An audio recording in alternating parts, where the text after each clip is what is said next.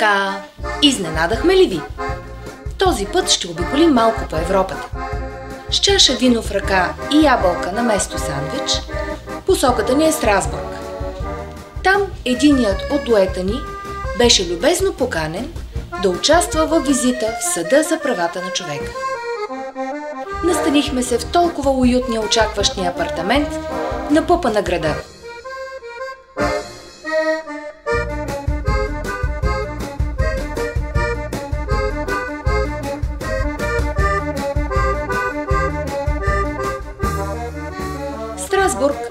казано очарователен.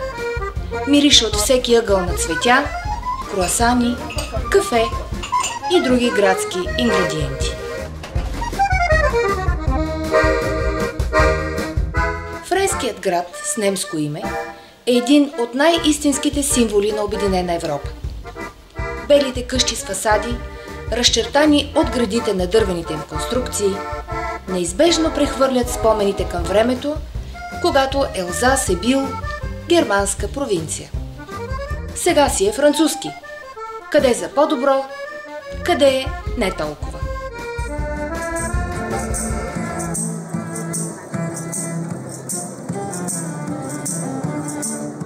Казват, че силуетът ти се вижда от километри. Заставайки в подножието на 142 метровата икула, вече си убеден, че нямаш никакво основание да се съмняваш. Изумлението от гледката е все така постоянно, вече 600 години след построяването й, което пък е отнело почти 300 години. Зад мен се намира готическата катедрала в Страсбург. Висока е 142 метра и изцяло облицована отвътре и отвън с розов мрак.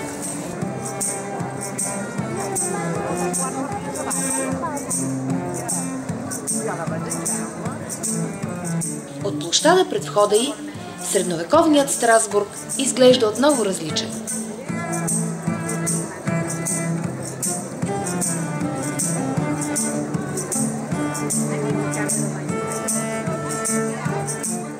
Човек има странното усещане, че невероятната фасада от розов камък е изригнала за секунди от павирания площад.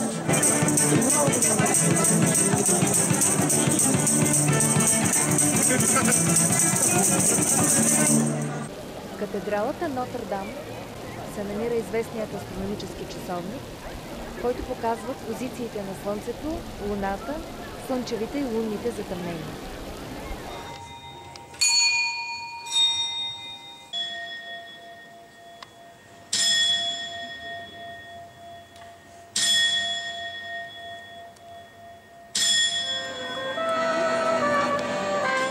Старият Страсбург се намира на остров, заобиколен от ръкавите, в които тук се разлива река Ил. В мрежата от улички, които се пръскат любопитно в четирите посоки от площада на църквата, Франция и Германия са оставили най-добрите спомени за съперничеството си в изкуството да се живее добре.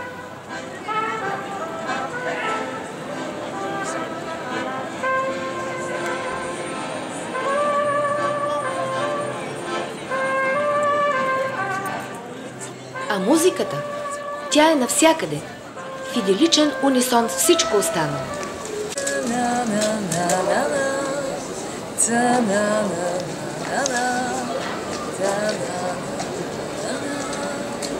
Витрините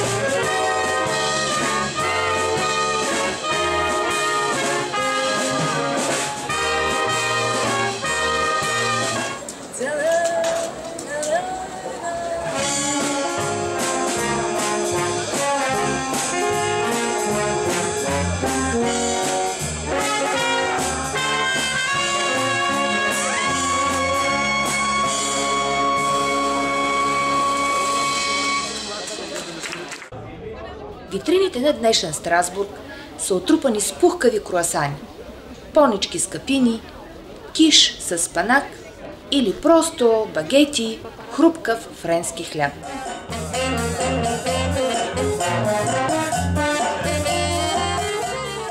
Всичко е толкова уютно и кокетно.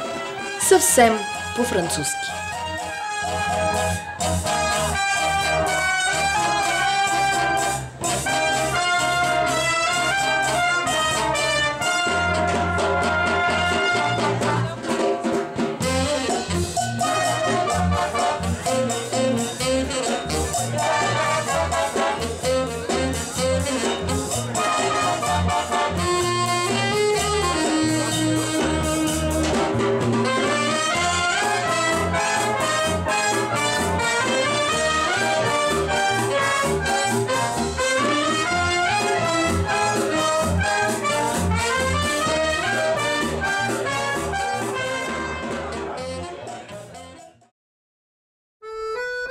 Малката Франция е една от най-чаровните гледки на Страсбург.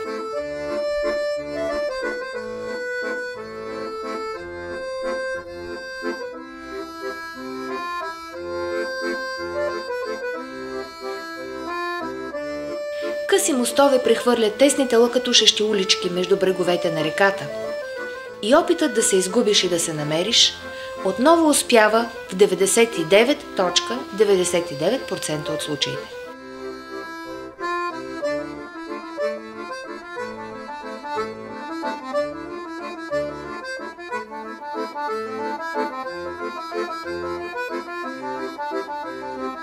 Реката тече точно както ритъма на града.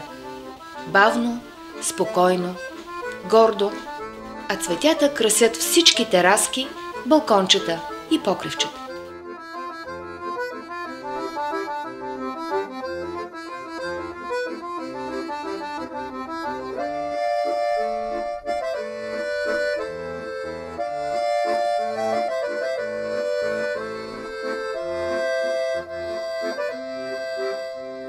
А когато установиш, че увлечен в тази криеница, си минал няколко пъти от едно и също място, без да го забележиш, разбираш, че малката Франция е наистина малка.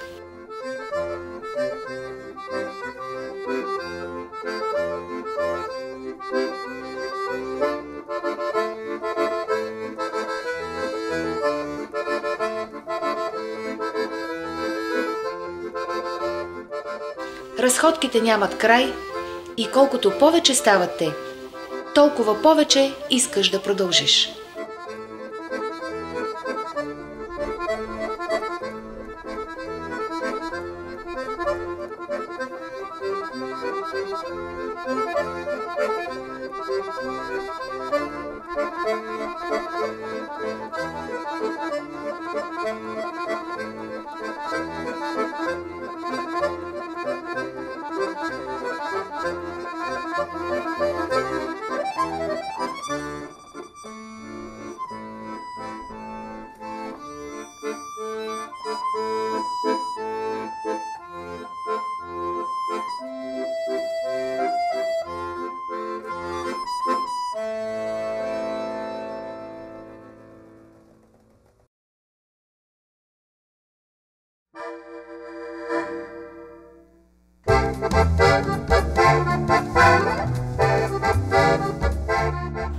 Вечер, когато трамваите безшумно плъзнат по стъклата си отраженията на скъпите витрини, по дългите дъбови маси на бирариите с немски имена, вече е трудно да се намери празно място.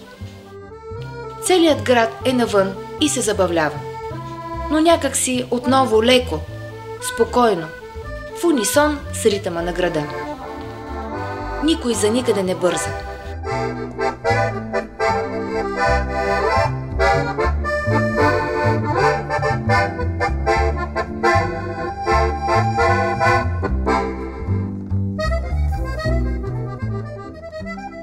Каналите на реката са прекрасно място за разходка.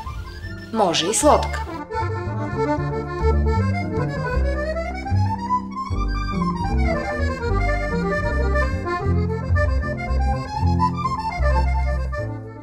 Целият град е изпълнен с велосипедисти или пешеходци.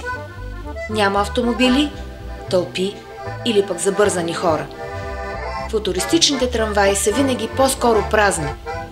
Всичко е толкова транквилантно, че изглежда чак нереално.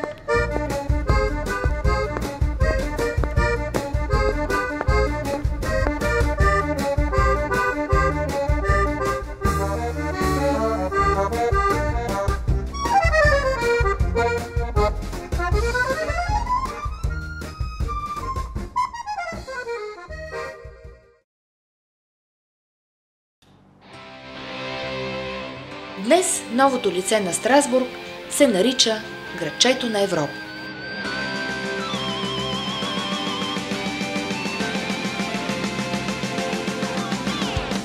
То събира покрай една от поредните плавни извивки на реката, сградите на Европейския парламент, Международният съд за правата на човека и Съвета на Европа.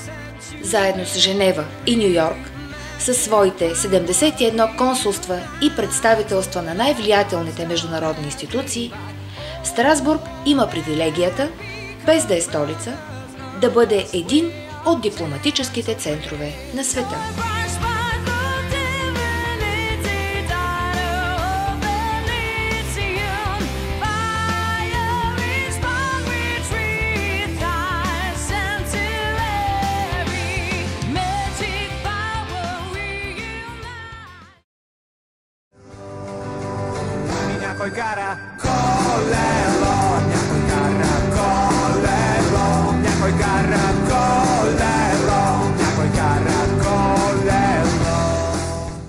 А някой кара колело? Не, всички карат, без изключение. От подрастващи до старейшини. От коминочистачи до дипломати. На две, на три, че и на повече гуми, педалозадвижвани пътно-превозни средства.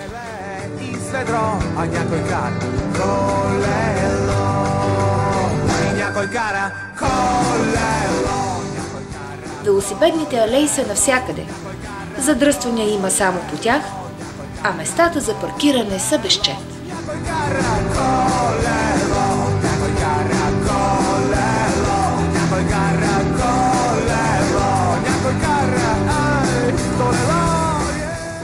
Ех, ако има такъв живот, само си викам дано. В заключение можем да кажем, че освен, че е символ на Обединена Европа, Страсбург е град, живеещ с ритъма на столица, в ленивия уют на безупречна провинция.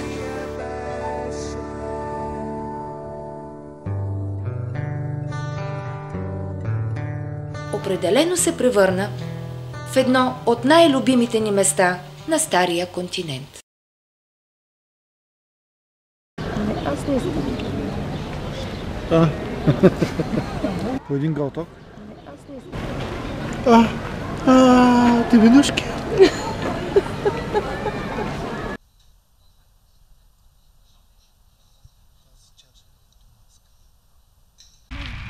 От пет страни е заобиколен.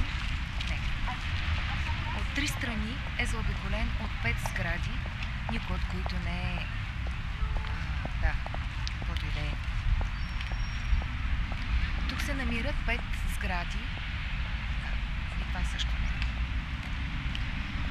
А, площада на републиката.